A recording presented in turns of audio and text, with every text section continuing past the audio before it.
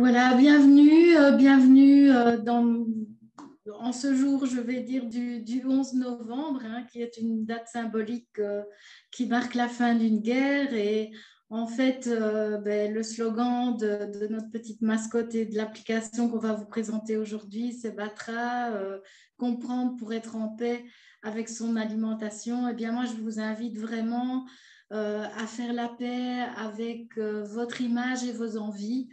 On va remettre du soleil dans nos assiettes euh, et donc vous êtes vraiment invités aujourd'hui euh, à, retrouver le plaisir. Et donc euh, c'est un travail d'équipe. Hein. donc Actina SBL est une plateforme d'éducation permanente et nous mijotons pour vous depuis le début de l'année ben, cette application, un blog, des ateliers qui seront vraiment un entraînement euh, vers cette aventure euh, de manger dans le plaisir euh, qui vous attend.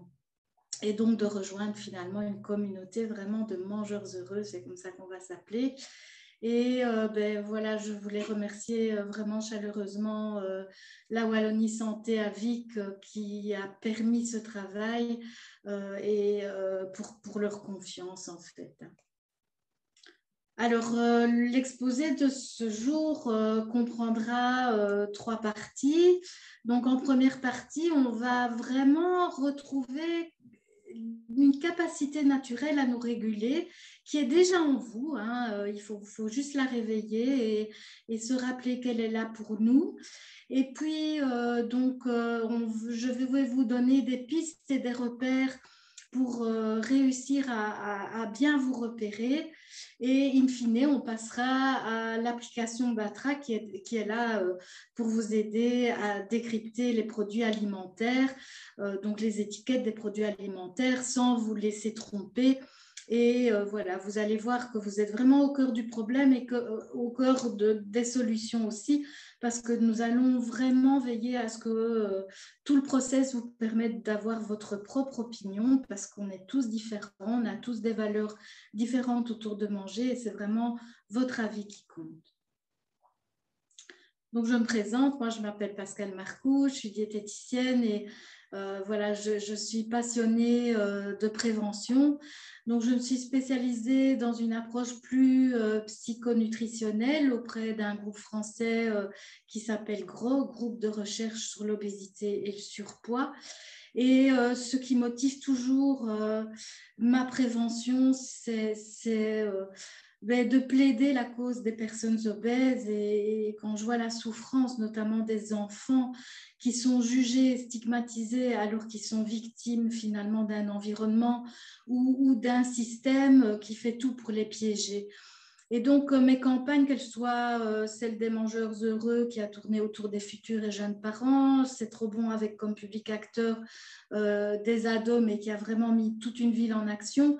J'agis à la fois sur l'environnement pour permettre des expériences positives, donc d'essayer d'améliorer l'environnement, et puis, j'agis à travers la personne pour l'aider à, euh, écouter son corps, donc à être en interaction avec son corps et à voir comment elle fonctionne avec son, environnement, ce qu'on appelle les traits d'appétit.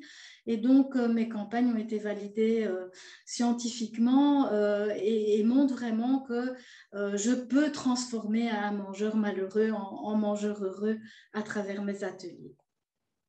Et donc, je vous souhaite cette expérience. Donc, on va partir sur cette première étape de, euh, de retrouver l'équilibre par une alimentation plus intuitive, hein, donc à travers nos sensations. Donc, le rapport, on l'a eu, voilà. Et donc, euh, ce qu'il faut bien se dire, c'est que notre manière de nous réguler n'a pas changé depuis l'homme des cavernes. Donc, ça fait 300 000 ans que nos instincts fonctionnent de la même manière. Et donc, nos peurs d'avoir faim, ben, figurez-vous qu'on ne serait pas là. Si on n'avait pas peur d'avoir faim, ben, on ne mangerait pas. Et ou on mangerait euh, trop tard ou dans trop de faiblesse. Et, sans la faim et l'amour, en fin de compte, on ne serait pas là. Euh, on a très peur aussi euh, du rejet, par exemple, hein, le peur d'être rejeté dans un groupe. Mais du temps de Lucie, si on était rejeté, ben, on savait plus tuer le mammouth et ça voulait dire mort aussi. Euh, ben, donc la peur d'avoir faim nous fait manger, nous fait vivre. La peur de l'inconnu, ben, elle est toujours là aussi. On ne reconnaît pas un nom sur un emballage, mais la peur de l'inconnu, à l'époque, elle permettait de ne pas foncer sur un aliment qu'on ne connaissait pas et qui euh, finalement aurait peut-être pu nous empoisonner. Donc euh, la connaissance, apprendre à aimer, à connaître un aliment, ben, nous facilite le fait de pouvoir le manger et c'est tout un process important qui se passe dans l'enfance Hein, entre 2 et 6 ans, les petits, j'aime pas, pas encore. Eh ben, c'est cette peur, peur de ce qu'on ne connaît pas, la peur du verre en particulier, qui ressort de façon très instinctive euh, chez nos petits qui ne connaissent pas encore euh, et qui n'ont pas encore appris à manger leurs légumes. Et donc, euh, voilà, le plaisir, lui, en fait, c'est un guide. Et euh, vous allez voir que sans euh, ce plaisir euh, qui, finalement c'est bon, j'ai du plaisir, ben, je garde, c'est amer, ben, je repousse et je ne vais pas m'empoisonner. Donc c'est un excellent guide, le plaisir. Et en fait, ben, trouver des choses faciles à manger, la facilité, ça a toujours été un moteur d'évolution à travers les siècles. Hein. Donc voilà, on fonctionne toujours sur la facilité, le plaisir, manger quand on a faim et euh, manger ce qu'on connaît. Alors, comme Lucie, euh, ben, on a toujours une capacité de grignoter tant que la nourriture est présente, hein, puisqu'on ne sait pas si on aura mangé demain. Et, nos petites voix là qui viennent euh, pendant qu'on mange, elles sont là et mangent. Hein, fini, fini, parce que demain il n'y aura plus. c'est encore des petites voix qu'on va retrouver. On va manger, elle a, Lucie, elle mangeait tant qu'il y avait de la nourriture et on a une capacité de stocker. Euh, la graisse de façon illimitée aussi, en prévision de la disette. Alors, euh, ben, quand il y a disette, euh, on a la capacité de, se mettre au ralenti.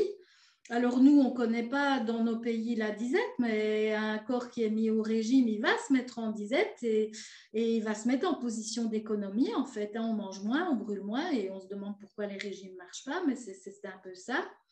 Et puis, on a une capacité de manger variée. Hein. On est des omnivores, on sait digérer beaucoup de choses et on peut s'adapter à des ressources ou anticiper des ressources qui viendraient à manger, à manquer hein, ici dans la transition durable et, de se mettre à manger des choses qu'on avait oubliées ou qu'on n'a pas encore appris à connaître. Voilà on est des omnivores. Mais ce qui a fondamentalement changé, vous verrez, c'est notre environnement et que Lucie, elle devait marcher 20 km par jour pour trouver à manger.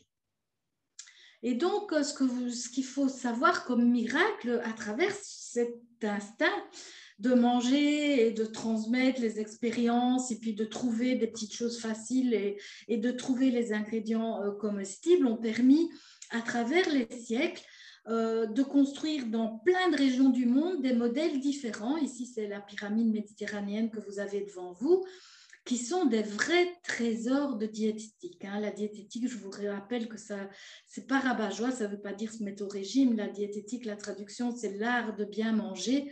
Eh bien, euh, dans, le bassin méditerranéen, sans rien connaître à la nutrition, ils ont inventé un modèle euh, qui, est, très fort le mien, parce que c'est un modèle qui est très flexitarien, qui existait chez nous avant la fin de la mondialisation et qui est en plus un modèle d'alimentation durable et qui est délicieux.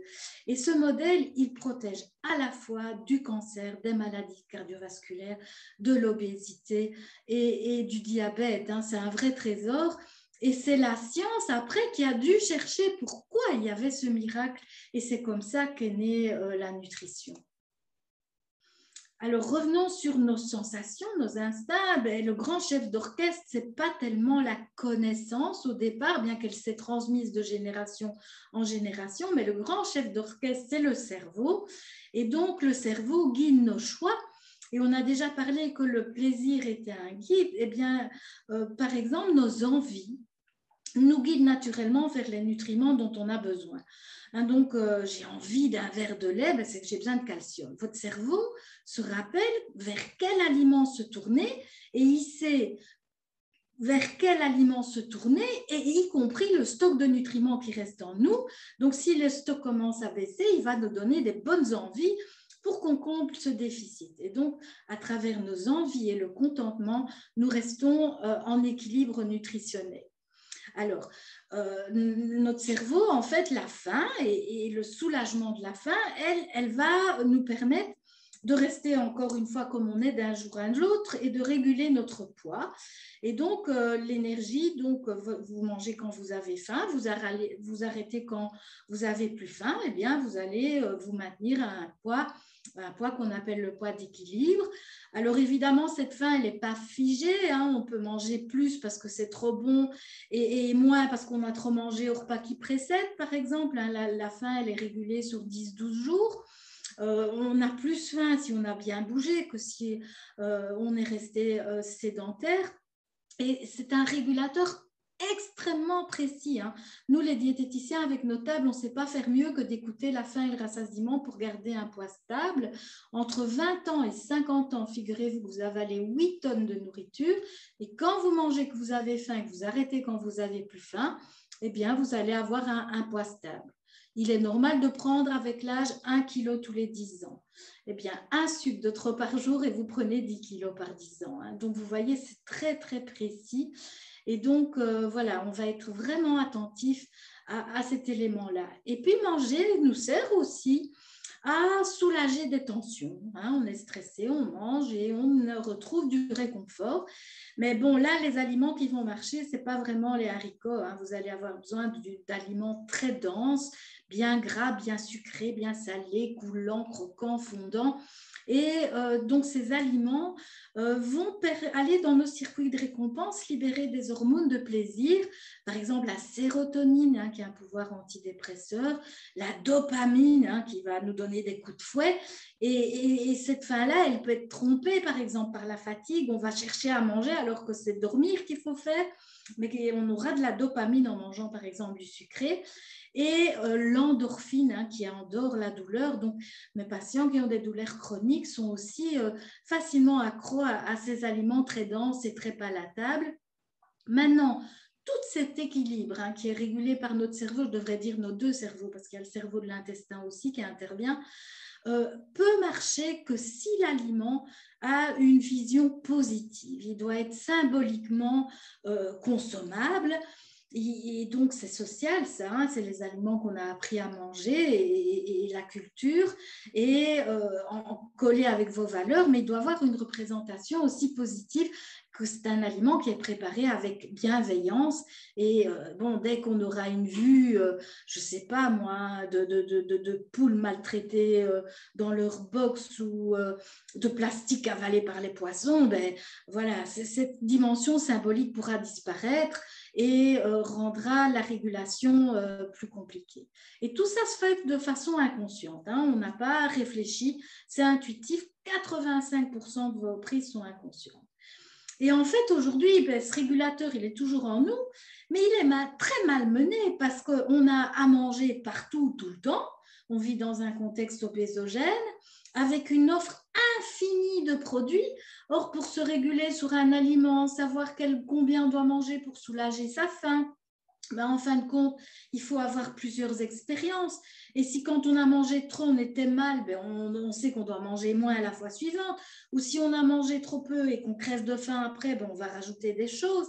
Et là, euh, ben voilà, on a trop d'aliments et en plus, on retrouve des aliments qui sont tellement transformés, préparés avec des, substrats d'aliments ou avec des techniques qui vont euh, détruire la matrice de l'aliment, qui seront trop bons et on va s'arrêter de manger. La faim, en fait, elle se marque la fin de la faim quand vous ça devient moins bon, ça change de goût. Ce n'est pas nécessairement l'estomac qui tire qui sera le bon régulateur. Et des aliments comme ça, des aliments ultra transformés, ont le don d'être à la fois trop bons, mais d'être absorbés tellement vite qu'ils redonnent faim. Et donc, ce régulateur est perturbé avec certains aliments. En plus de ça, ben, tout nous fait grossir et une fois qu'on est gros, ben, on est stigmatisé et en plus, on met la minceur comme une valeur où euh, il faut avoir des tablettes de chocolat quand on est un homme, alors que ça n'a rien à voir on a une corpulence et donc euh, voilà. Mais ça, ça nous pousse évidemment, euh, de par la stigmatisation, de par la valorisation de la minceur, à essayer de contrôler notre poids. Mais dès que vous allez contrôler votre poids, vous vous exposez à, finalement vouloir dresser un crocodile euh, dans un cirque dès que vous aurez donné un ordre et vous n'aurez pas le temps de donner l'ordre qui va vous bouffer. Donc c'est très dérégulateur que de vouloir se contrôler. Mais en tout cas, par rapport à cette stigmatisation de l'obésité et la minceur, vous devez savoir aussi qu'on est entouré de charlatans. Hein. Euh, la diététique, le diététicien agréé est reconnu par l'INAMI. Vous avez une foule de charlatans nutritionnistes. Il y a des médecins nutritionnistes qui sont compétents en nutrition pour vous aider, mais le, nutritionniste euh, on peut avoir trois cours du soir et se nommer nutritionniste. Hein. donc, ça peut être très dangereux.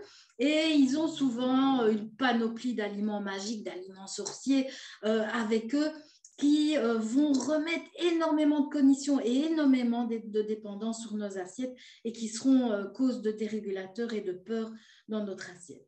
Et puis l'infobésité, c'est quoi? C'est cette masse d'informations contradictoires qui circulent sur le net sans fin et je vais vous dire, euh, les, aliments euh, prétendus sans qui sont mieux que, sans qu'on ait consulté un médecin, c'est important de regarder d'où vient la source de ce qu'on lit. Et je vous avoue que moi, je me méfie aussi de ce que je lis et je regarde toujours qui signe les articles, quelles sont ses compétences. Et voilà, je sais où aller et je vous aiderai à trouver les bonnes informations. Et on, a, on est en train de créer un blog pour vous aider. Après, euh, donc, euh, la désinformation et qui, donc cette, cette, infobésité tourne autour de, de, cette transition du durable qui est nécessaire, mais qui est nécessaire surtout par rapport à ce qu'on est devenu, parce qu'avant avant la mondialisation, on avait, comme je vous l'ai dit, ce modèle d'alimentation durable euh, de la diète méditerranéenne dans nos pays.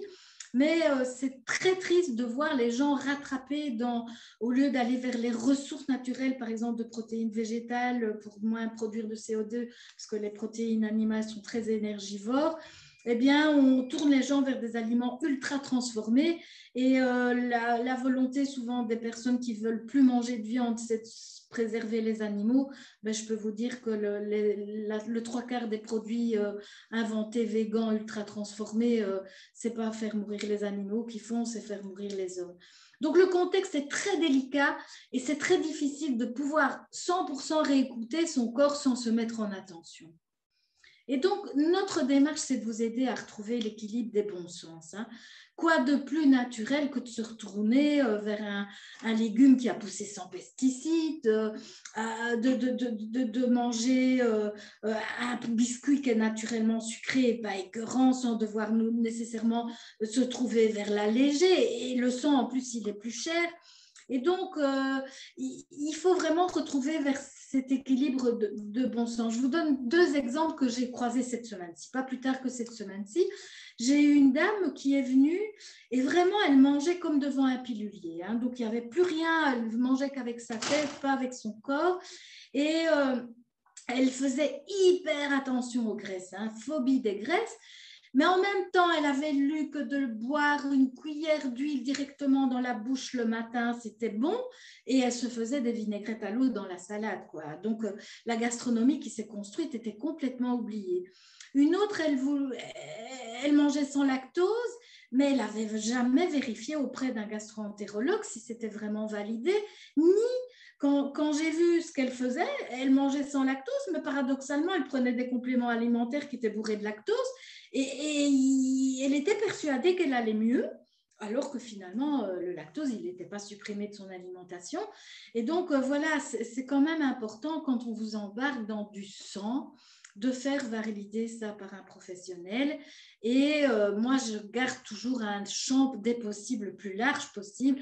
Et mes patients qui ont des colons irritables, en fait, cette malbouffe, elle a provoqué des irritations de l'intestin qui créent beaucoup d'intolérance. Et c'est vrai que c'est inévitable, cette alimentation sans, pour en tout cas moins riche pour certains, parce que leur microbiote s'est détruit et l'intestin est devenu euh, très, très irritable.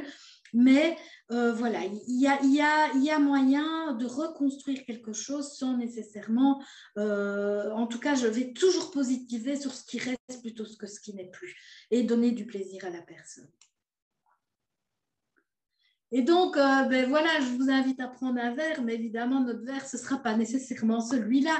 Mais donc, euh, ce que je voulais vous dire à travers cette dia, c'est que vos traditions, vos valeurs, quelles qu'elles soient, seront les bonnes et que nous allons, au fil de nos animations, toujours vous donner le choix de, placer vos priorités où vous le voulez et de vous dire qu'on n'est jamais dans le jugement.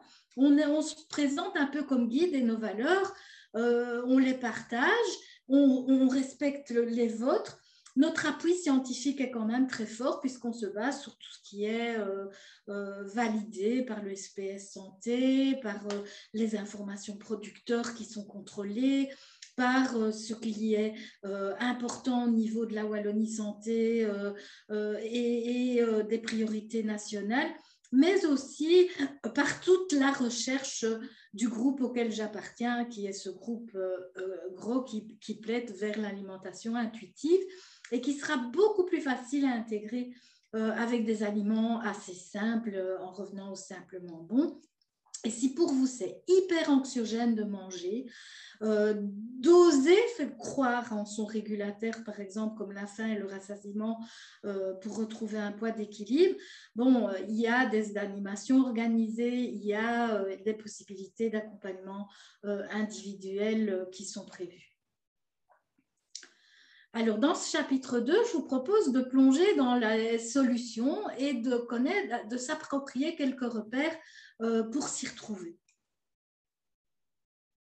Et donc, retenez bien ceci. Hein. le process de satisfaction, il va passer par euh, trois étapes. Donc, pour bien manger, ben, il faut avoir faim. Hein, quand vous mangez, que vous avez faim, vous vous mettez en quête de nourriture. Et c'est important de ritualiser ce repas parce que vous devez marquer le fait de manger et écouter votre corps pour sentir ce soulagement euh, de la faim. Vous devez passer absolument par la case plaisir, parce que si votre cerveau n'a pas identifié le contentement pour trouver les nutriments, le la faim et le soulagement de la faim qui vient à travers un léger déplaisir ou le soulagement euh, de l'émotion. Donc le plaisir est essentiel. Et donc chaque fois qu'il y a quelque chose qui va vous gâcher la fête au niveau du plaisir, vous ne pourrez pas finalement décider de vous arrêter de manger. Et donc décider d'arrêter de manger, ça passe vraiment par une case. Je suis à la fois soulagée de ma faim le plaisir s'en va, hein, on parle, d'aliesthésie, et je quitte alors beaucoup plus facilement euh, le repas. Je ne suis pas qu'une machine à manger, je peux passer à autre chose. Et euh, ben voilà, je repenserai à manger quand ma faim reviendra. Hein, si vous n'avez pas cette satisfaction, vous risquez mentalement d'être envahi par l'envie tout le temps de manger parce que vous n'avez pas suivi votre plaisir, parce que euh, euh, vous avez eu du mal de vous arrêter pour différents processus que ce soit. Et donc, pour manger en paix, la première chose à faire, hyper importante, c'est euh, de ne plus essayer de vous contrôler pour contrôler votre poids. Hein. donc, sortir de cette vue, je peux, je peux pas, cette vision dichotomique des aliments. Donc, euh, votre poids, d'abord, ce n'est pas vous qui le choisissez, c'est lui qui vous choisit. Et ça tient compte évidemment de la corpulence de vos parents. Et donc, euh, forcer son corps à vouloir être plus mince parce qu'on voit des mannequins photoshopés, ben, va rendre en colère finalement ce cerveau qui, ne mange pas à sa faim ou qui ne mange pas quand il a faim. Et il va euh, finalement vous rattraper en craquant. Euh, ne pas suivre une envie, ben, ça fait le disque rayé. Vous pensez qu'à manger du chocolat, si vous donnez une pomme à la place du chocolat, et le drame, si vous mangez du chocolat et que vous culpabilisez, eh ben, vous n'allez pas avoir de plaisir et vous n'allez pas vouloir finir de manger. Euh, et, puis, ce seront les foutus pour foutus.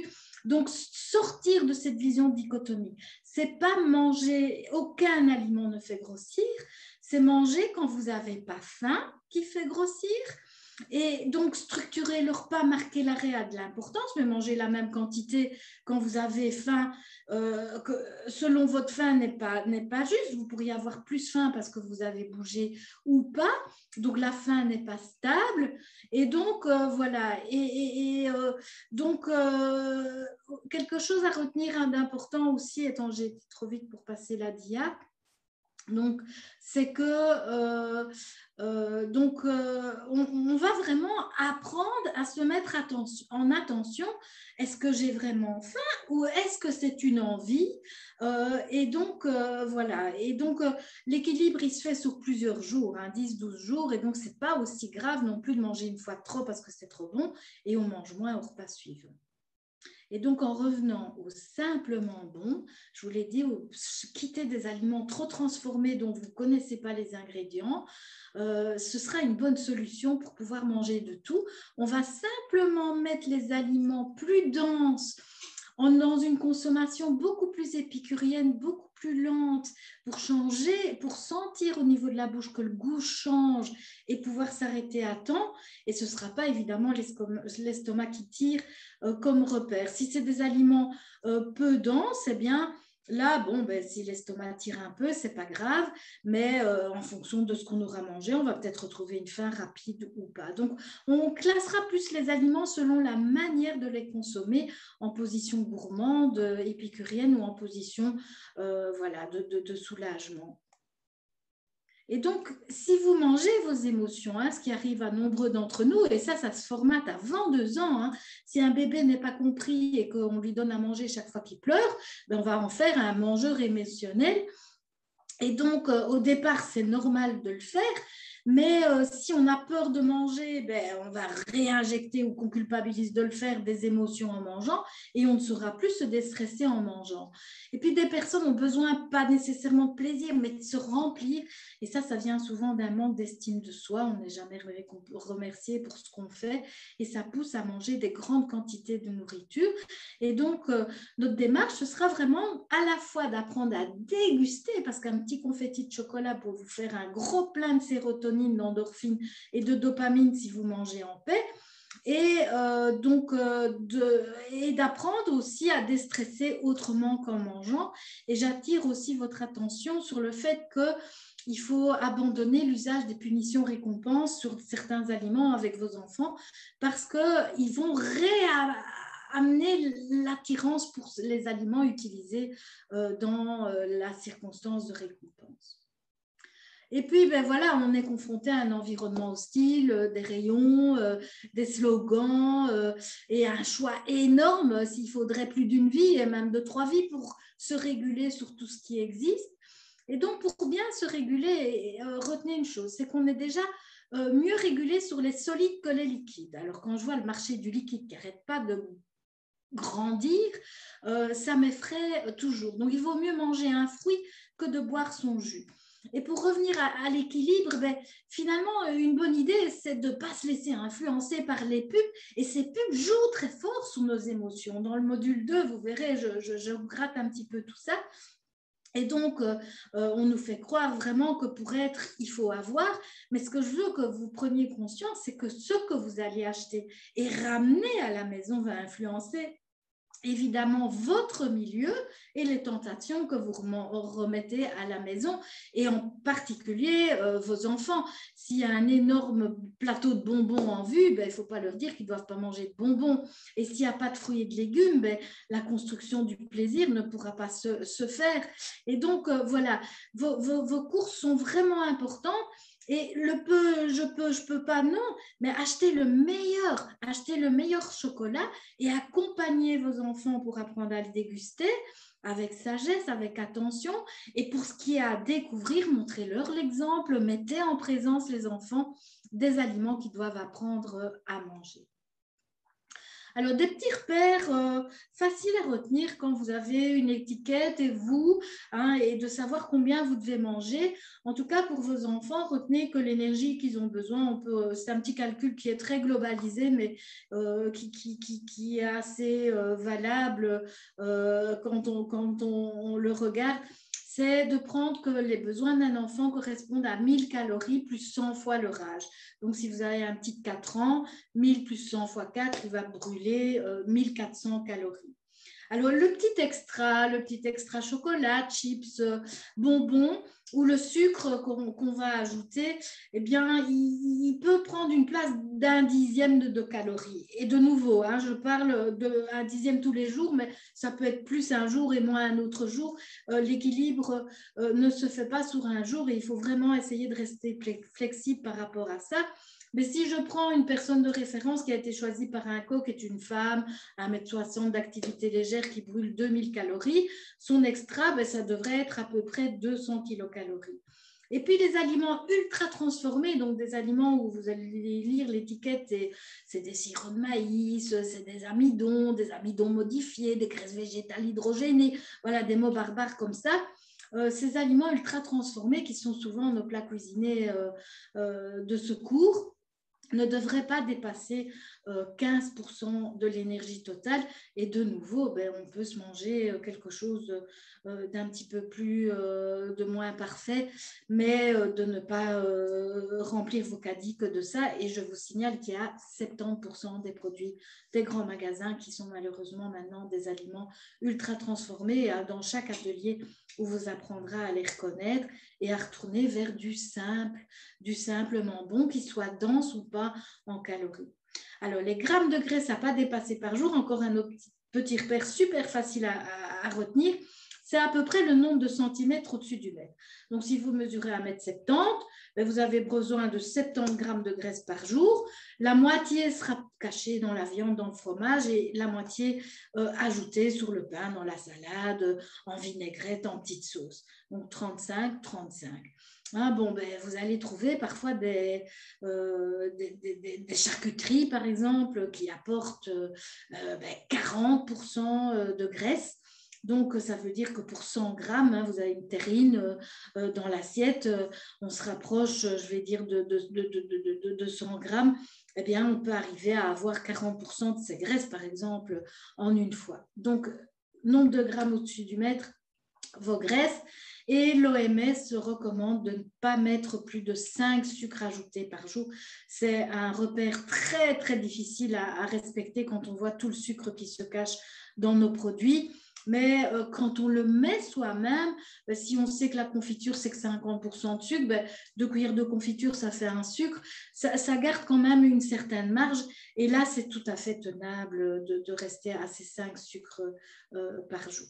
Euh, ces deux études-ci, par exemple, une française a montré que euh, un Français sur deux renonce à son achat parce qu'il ne trouve pas l'information. Et l'information qu'il regrette de ne pas trouver, c'est notamment celle relative à la provenance, euh, celle relative à, la conservation le bien-être animal. Hein. c'est très très difficile de, retrouver des indications par rapport à ça. Et euh, ben voilà, tout le monde dit que c'est écrit trop petit, que c'est illisible. Et donc, heureusement, la technologie maintenant va nous permettre des applications pour pallier à ça.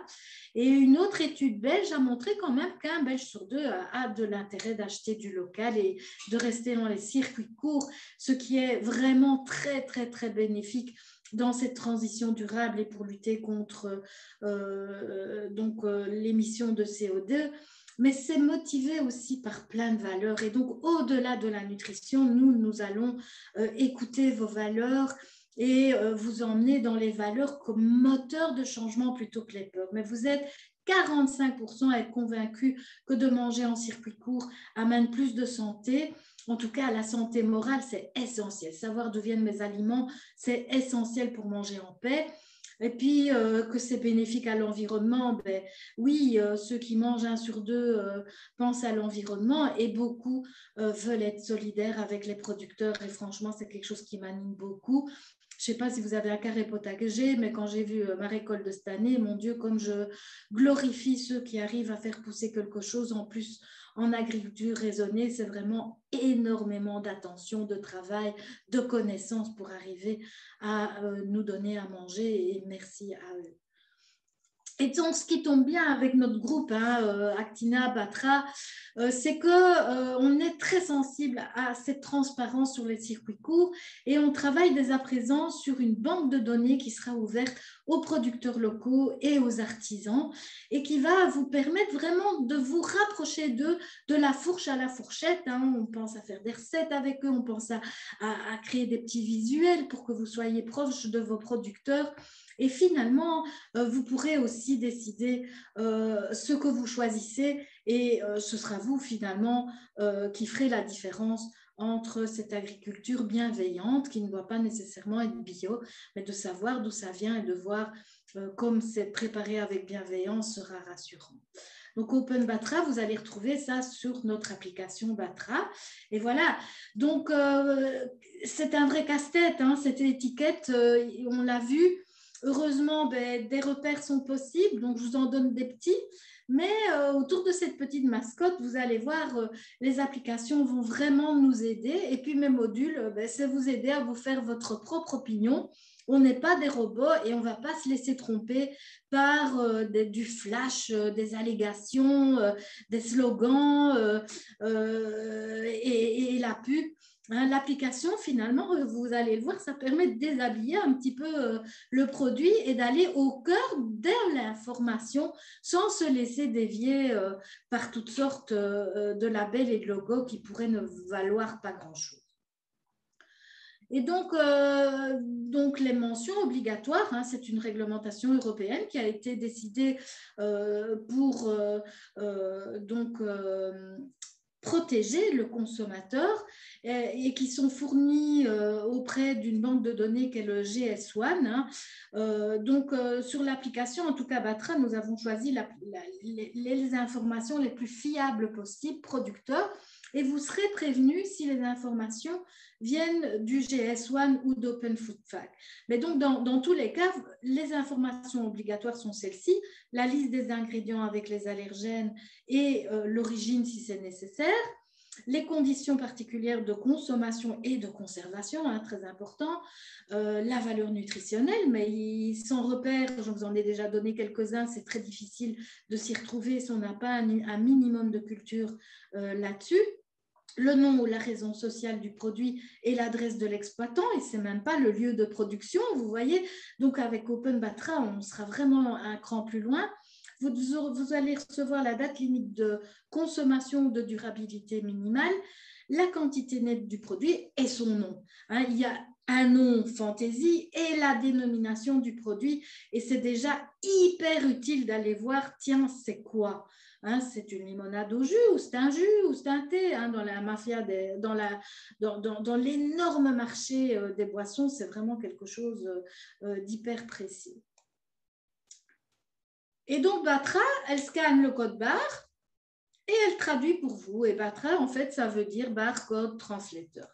Alors ici, je vais vous passer une petite vidéo qui dure une minute et qui va vous montrer déjà euh, un petit aperçu de, de, ce qui vous attend sur cette chouette application.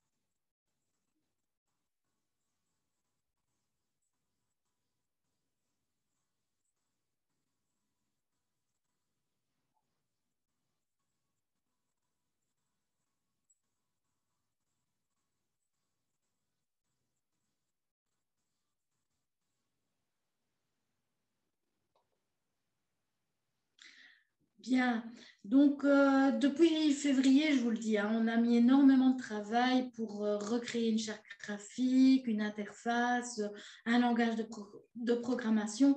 Et donc Batra, c'est une application qui est accessible sur Apple Store, entièrement gratuite et qui euh, préserve votre anonymat. on est soutenu par la Wallonie Santé et en, aucun cas vous ne serez pisté par la publicité. Batra, il est téléchargeable sur, votre smartphone, mais aussi euh, via euh, Batra Link sur votre ordinateur.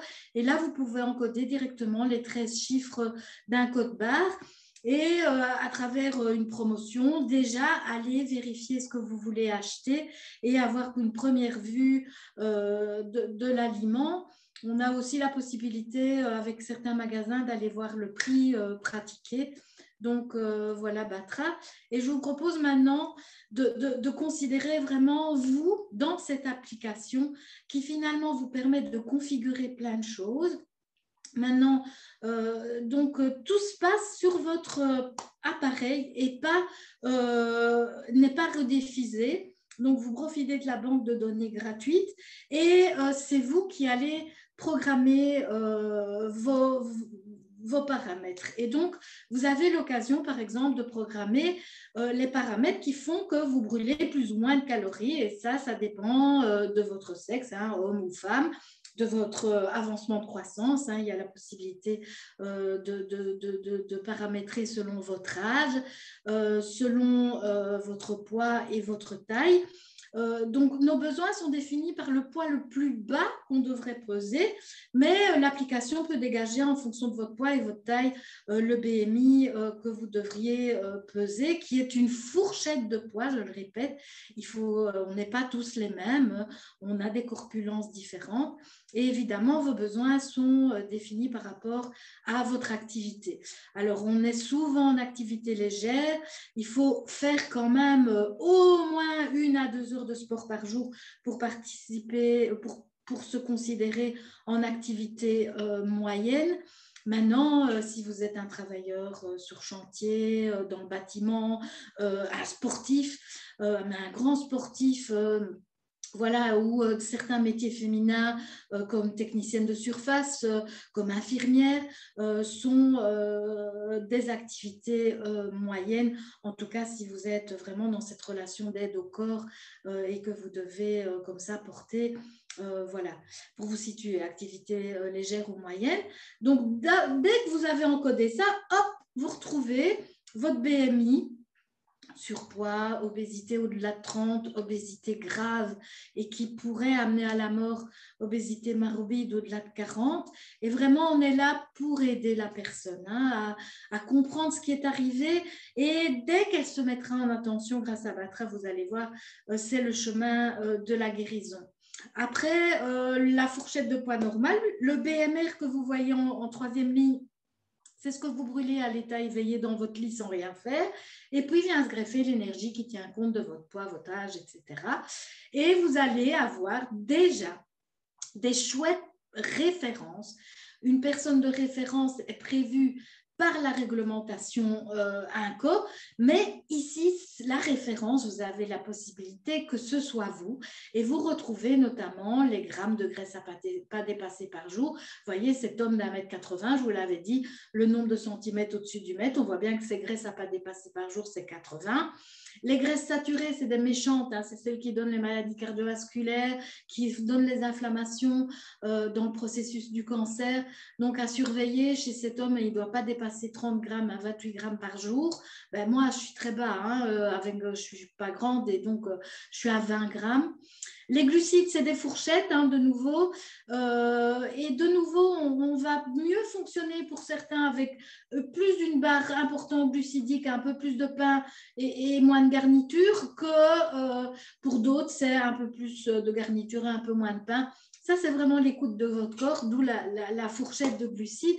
Mais dans les glucides, vous avez dont sucre qui parle des sucres simples et les sucres simples englobent à la fois les sucres naturellement présents dans les aliments et les sucres ajoutés par les producteurs. Et puis l'amidon, c'est la différence entre les glucides totaux et les sucres simples qui sont des sucres plus complexes. Les fibres, très importants, devraient atteindre 20 à 25 grammes de, fibres par jour. Et donc, euh, voilà, c'est vraiment un défi parce qu'on mange souvent des aliments raffinés. Donc, plus, elles seront, plus l'aliment sera riche en fibres, mieux vous atteindrez euh, ce target-là. Les protéines, on est souvent à 0,8 grammes par kilo de poids et par jour, mais c'est le poids le plus bas que vous devez peser. Et puis, euh, l'équivalent sel n'a pas dépassé c'est 6 grammes. Et vous allez voir qu'il n'est pas rare de trouver des sauces et des, soupes qui sont au-delà de 2 grammes par 100 millilitres, y compris les charcuteries. Et donc, vous allez avoir des repères qu'en plus, vous pouvez paramétrer. Moi, j'ai paramétré, par exemple, l'énergie à autour de 350, mais ça, vous pouvez faire si vous avez un diététicien et des soucis de santé faites-vous aider pour trouver des alertes qui vous correspondent. Mais bon, voilà, mon, alerte à moi, qui n'est pas de problème de santé, j'ai mis une alerte à partir de 350 calories totales euh, par 100 grammes parce que ces aliments sont plus palatables, vont euh, être euh, assez denses et donc c'est parfois plus difficile de s'arrêter. Vaut mieux doser avant de commencer. Et donc voilà, quand ça dépasse 350, j'ai mis l'alerte énergie. Pour les graisses, j'ai mis une alerte à 20 considérant qu'une viande maigre c'est 5, un fromage euh, qui n'a pas été enrichi en crème, un camembert fait 20, ben voilà, ça reste des fromages tout à fait équilibrés. Quand ça dépasse 20, se mettre en attention et doser. Euh, voilà, j'ai mis une petite alerte au-delà de 20. Pour les acides gras saturés qui sont pas bons, ben, en tout cas les graisses ajoutées, par exemple, je vais pas acheter une graisse ajoutée si les acides gras saturés dépassent 10 grammes par jour. Donc, euh, c'est pour ça que j'ai mis cette alerte-là pour moi. Et euh, pour les glucides, ben, j'ai mis une alerte qui correspond à, 36 grammes, 40 grammes. C'est ce qui correspond à un repas avec trois tartines, ce qui me correspond au niveau de la quantité de glucides qui me convient euh, en moyenne par repas. Euh, selon votre gabarit, on peut paramétrer. Mais voilà, quand vous aurez autant d'aliments qui vous donnent ça, vous pouvez vous référer à dire ah oui, ben, ça fait comme trois tartines. Euh, puis les sucres, euh, ben là, euh, les fruits moyens, ben on a 5 grammes de sucre. À 10 grammes de sucre, pardon, le lait qui est un autre sucre naturellement présent, le lactose à 5 grammes, le yogourt aussi. Et donc, quand ça dépasse 15, à part la banane, la mangue et le raisin, c'est souvent des sucres ajoutés. Donc, j'ai mis mon alerte à 15. Pour les protéines, je mets une alerte pour mes patients qui veulent soit diminuer les protéines parce qu'ils ont des problèmes rénaux, par exemple, mais soit pour ceux qui voudraient voir s'il y a des protéines, par exemple, dans un substitut végétarien. Ça sort en alerte négative pour le moment, mais en tout cas, moi, j'ai mis mon alerte à 10 qui correspond à, 100 grammes d'œufs, 2 hein, œufs ou 50 euh, euh, grammes de viande. Et au moins, mon substitut, je verrai s'il y a au moins 10 grammes de protéines par 100 grammes. Et vous verrez qu'il y en a plein qui font croire que ça remplace la viande, mais qui ne sont pas du tout des protéines. Donc, ça vaut la peine. Et pour le sel, j'ai mis une alerte dès que ça dépasse 1 gramme parce que c'est déjà hyper salé. Et je vous rappelle, on ne doit pas dépasser 6 grammes. Donc tout ça, on peut faire calmement. N'hésitez pas à revenir à nous, euh, envoyer un petit mail si vous avez besoin d'aide. Voilà, on peut vous aider à le faire. Et donc ce que j'adore sur Batra, c'est que dans, dans, les autres applications, il y a un repère qui est quelqu'un, mais qui n'est pas vous. Et là, le repère, ce sera vous. Et l'autre chose que vous pouvez faire, c'est de euh, encoder euh, la taille de la portion que vous allez manger. Parce que vous allez voir le petit exercice que je vais vous mettre euh, pour la fin du webinaire tient compte de, ça. Et donc voilà, vous pouvez paramétrer vos additifs, vous pourrez paramétrer vos allergènes, vos additifs euh, retenez que l'additif en soi n'est pas dangereux. S'il est permis, c'est qu'il a montré de pâte blanche. Mais ce qui est dangereux, c'est le cocktail d'additifs. On n'a pas assez évalué les mélanges d'additifs. Et donc, choisissez toujours le produit qui en contient le moins entre deux produits.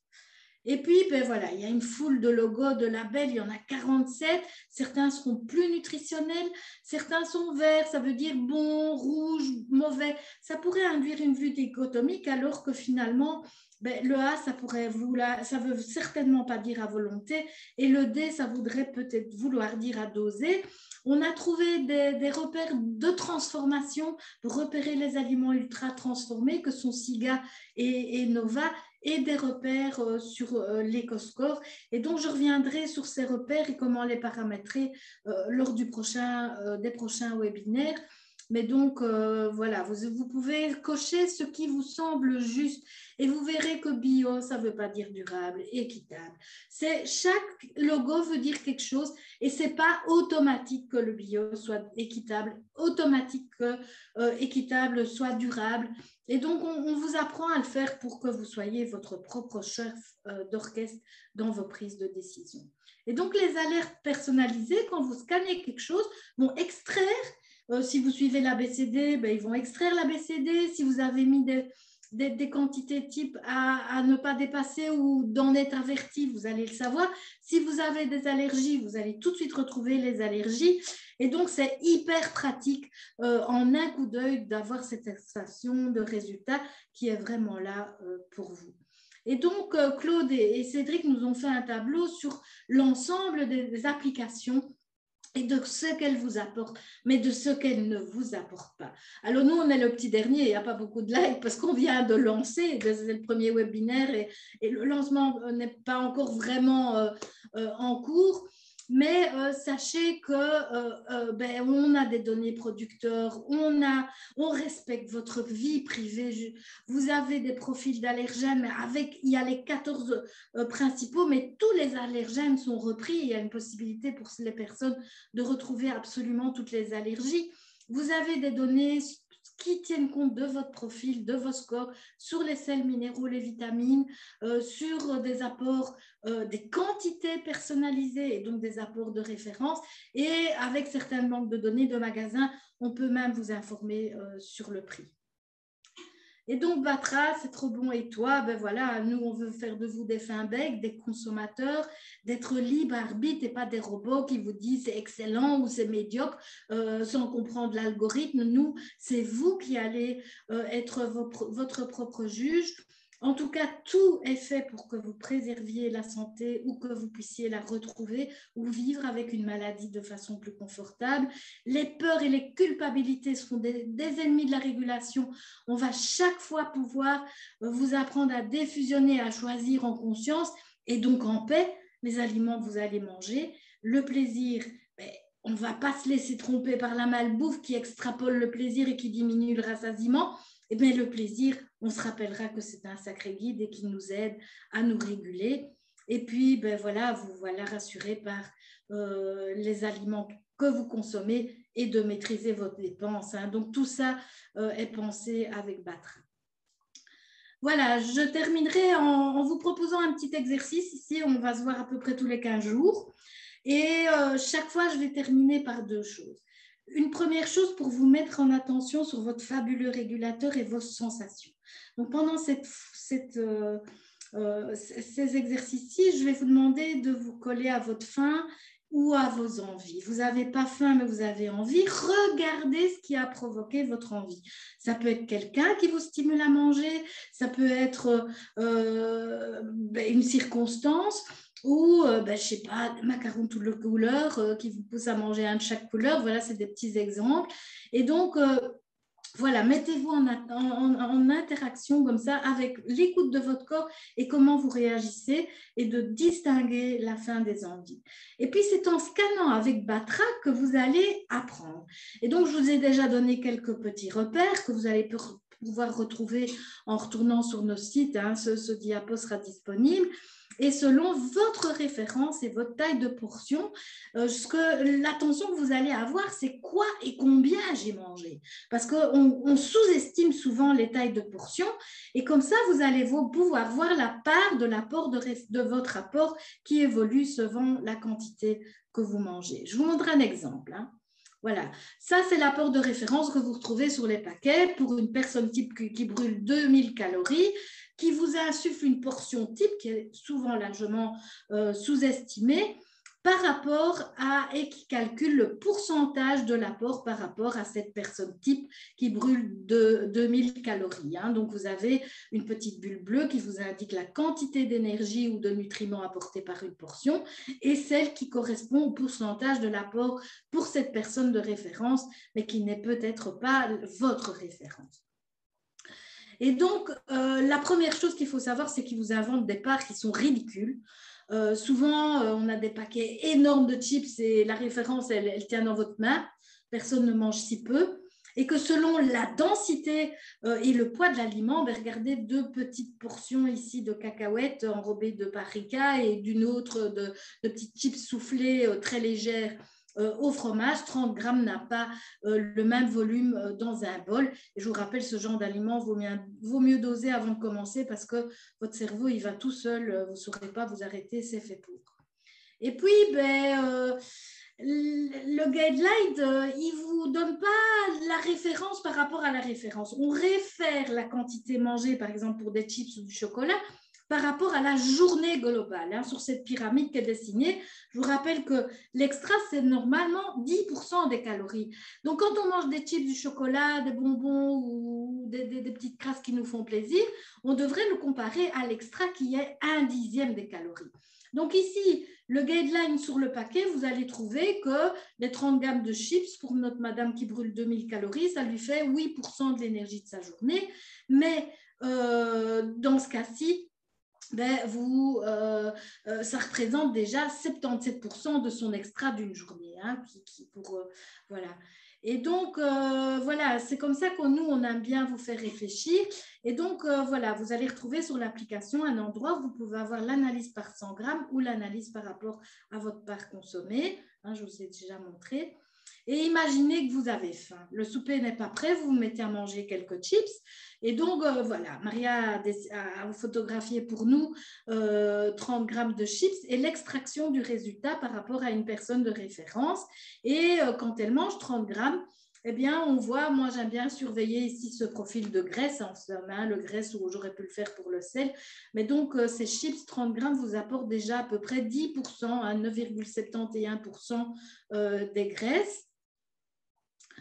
Euh, ben, leur patraine, on prend un deuxième paquet. Et là j'arrive à 40, attendez, à à un cinquième des graisses d'une journée. Hein, euh, et puis finalement, euh, je mange le paquet et c'est pas rare que quelqu'un achète un paquet. Et même si ce sont les chips Lucien qui sont pas ultra transformés, mais qui sont trop bonnes euh, parce que la palatabilité est là, eh bien quand j'aurai mangé le paquet, je me retrouve avec un quart de mon énergie totale, 40% des graisses. Ben, j'ai fini de manger, j'ai plus faim et je vais me mettre à manger pour ne pas euh, déshonorer la, pour honorer la cuisinière, ben, euh, c'est là qu'on va grossir aussi. Hein, vous voyez, donc euh, voilà, quoi, combien, mon corps, j'ai faim ou j'ai envie. voilà vraiment le petit exercice que je vous propose. Alors, je vois que je dépasse largement le timing, je m'en excuse, mais en quelques mots, Actita un pôle écologie avec une location euh, de petits verres euh, pour vos événementiels personnalisés ou euh, à louer. Je suis porteur du pôle santé avec des campagnes qui peuvent mettre vraiment toute une ville en action, comme la campagne C'est trop bon ou qui a tourné autour des futurs parents et qui a été soutenue par le Fonds Outman, mais qui valide vainement notre méthode.